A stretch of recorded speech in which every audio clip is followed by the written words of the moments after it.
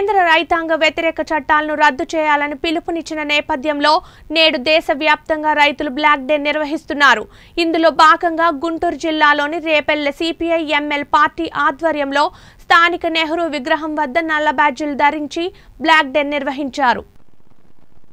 ఢిల్లీలోని రైతులు ఐదు నెలల నుంచి ఆందోళన చేస్తుంటే బీజేపీ ప్రభుత్వం వారి సమస్యలు పట్టించుకోకపోవడం బాధాకరమని సిఐటియు జిల్లా కార్యదర్శి సత్యనారాయణ అన్నారు.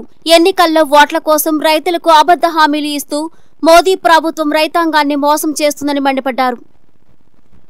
చట్టాలను రద్దు చేయండి అని చెప్పేసి నవంబర్ ఇరవై ఆరో తారీఖున ఢిల్లీ చేరుకుని నేటికి ఆరు మాసాలు పూర్తయింది. ఈ ఆరు మాసాలు పూర్తయిన సందర్భంగా ఈరోజు భారతదేశం మొత్తం బ్లాక్ డే నిర్వహించడం జరుగుతూ ఉంది.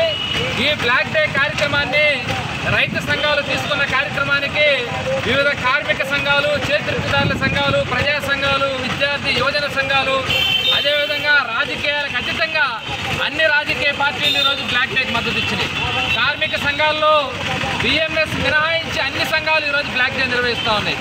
ఎందుకు బ్లాక్ డే నిర్వహించాల్సిన పరిస్థితి భారతదేశంలో వచ్చింది? ఈరోజు కరోనా పక్క విలయతాండం చేస్తూ ఉంది. ప్రజలు ఇబ్బందులు పడుతున్నారు అయినా రైతాంగం కోసం రైతాంగ సమస్యల మీద బ్లాక్ డే నిర్వహిస్తున్నారు ఎందుకంటే ఈరోజు మనం చూస్తూ ఉన్నాము వైద్యం అనేటువంటిది కార్పొరేట్ వాళ్ళ చేతుల్లోకి వెళ్తే ఈరోజు భారతదేశంలో కరోనా లాంటి విపత్తు వస్తే వైద్యం అందక అనేక మంది ప్రాణాలు కోల్పోతున్న పరిస్థితి ఉంది. ఈరోజు రైతులు చేస్తున్న పోరాటం కూడా అదే పోరాటం.